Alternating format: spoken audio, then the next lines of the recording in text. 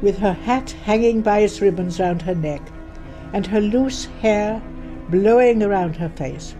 She seemed like some wild creature of the night, or a mad woman escaped from captivity.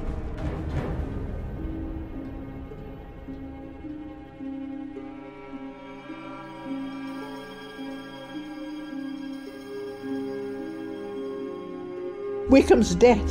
Denny has shot him. Why don't you find him? They're up there in the woodland. Why don't you do something? Oh God, I know he's dead.